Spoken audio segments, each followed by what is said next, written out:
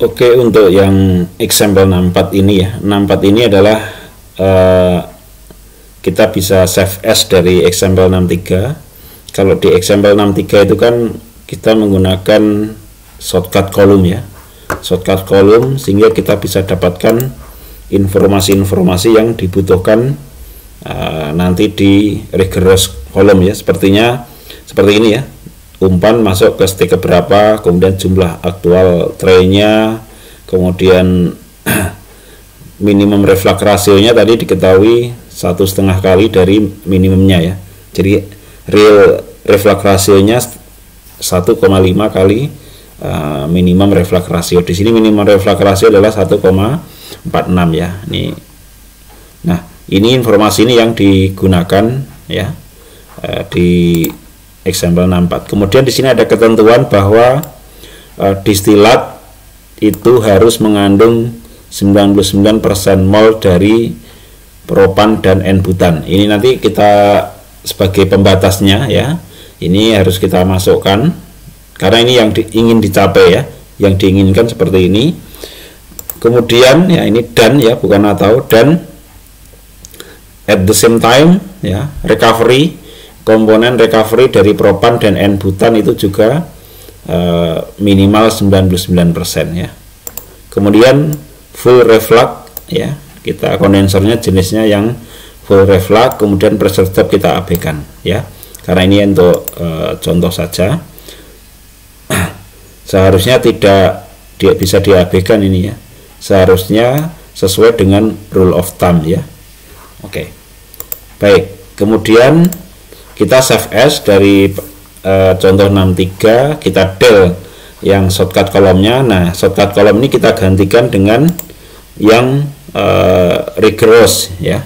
Yang rigorous yaitu distillation kolom ya. Ini kita masukkan sini. Kemudian kita connect ya umpan. Tadi umpan diketahui masuk ke uh, eh, bukan diketahui ya dari shortcut kolom umpan masuk ke stick ke-6 ya dengan jumlah stick 11 ya ini kita coba entry. Ini adalah F.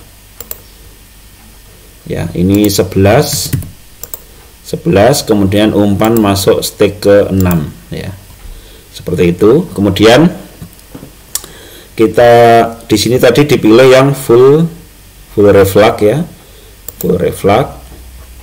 Di sini adalah vapor di sini adalah L.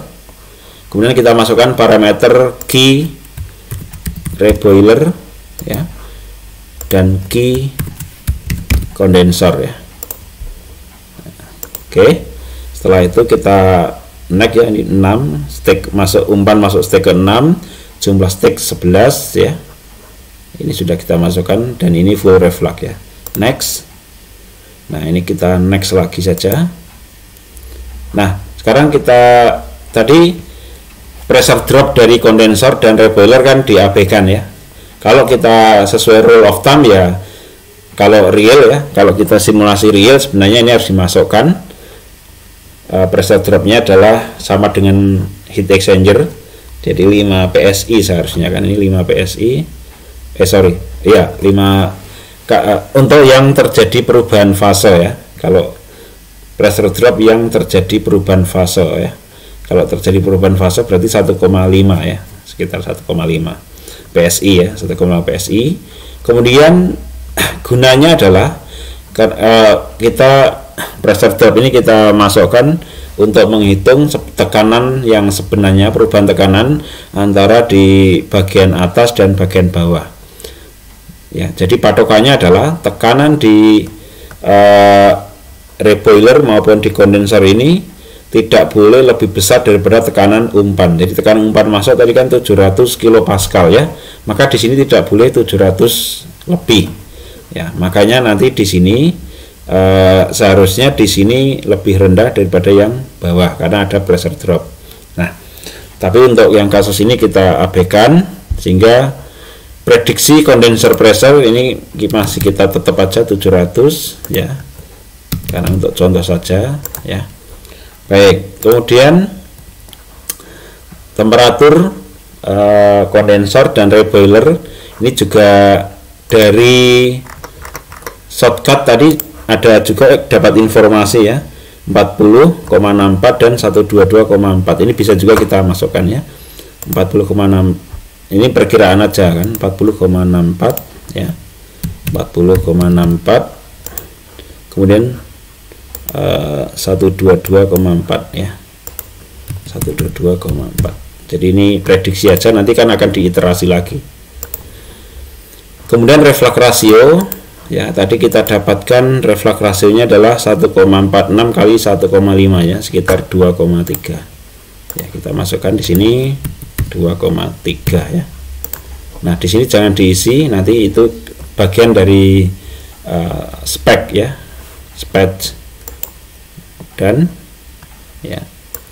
Nah, di sini kita lihat uh, kita lihat derajat kebebasannya berapa. Dan nol sebenarnya sudah bisa di run tetapi di sini kan ketentuan yang ini belum kita masukkan ya. Ketentuan bahwa di distilat propan dan n-butannya harus minimal 99% mol dan recovery-nya 99% ya. Dua ketentuan ini kita masukkan ya jadi di sini yang sudah ada kita cek di monitor reflux ratio dan overhead. Nah, ini tidak kita tidak menggunakan ini. Jadi yang kita pakai adalah yang sesuai yang diinginkan tadi ketentuannya gitu ya. Maka di sini kita di sini kalau kita lepas dua itu maka derajat kebebasannya dua berarti ada dua yang harus kita tentukan. Yang pertama adalah kolom komponen fraction tadi ya kolom komponen fraction kita add. Di sini di state keberapa? Jadi ketentuannya adalah di uh, distilat ya. Distilat berarti di kondenser. Kemudian fraksinya adalah fasenya fase uap ya.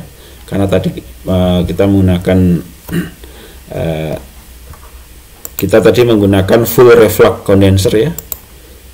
Jadi yang di atas itu fasenya adalah fase uap. Kemudian di sini yang ketentuannya adalah propan dan n-butan. Ada dua tadi yang harus minimal 0,99 ya.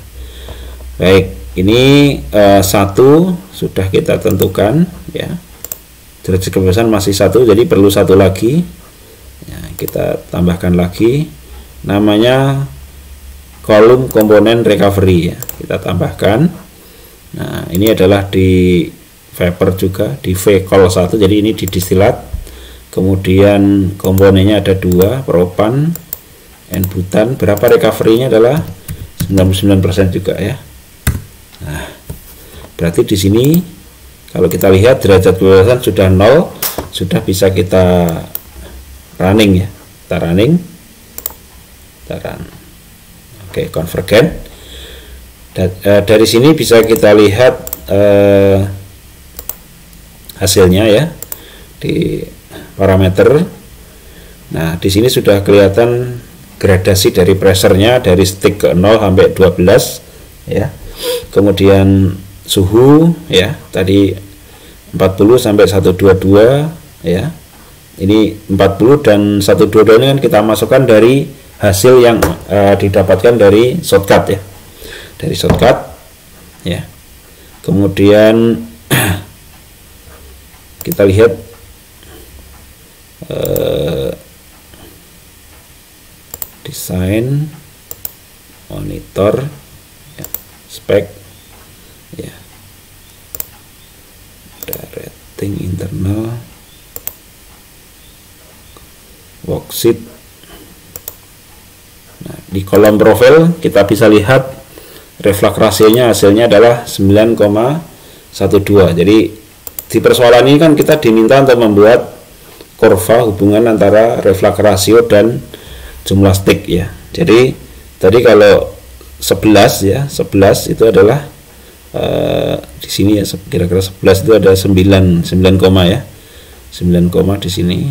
Nah, sekarang kalau kita ubah misalnya ya, kalau misalnya ini 20 stick ya, kira-kira kalau menurut uh, kurva di buku ini sekitar 2 koma ya coba kita masukkan ya. Kita ubah jumlah stiknya misalnya 25 ya. 25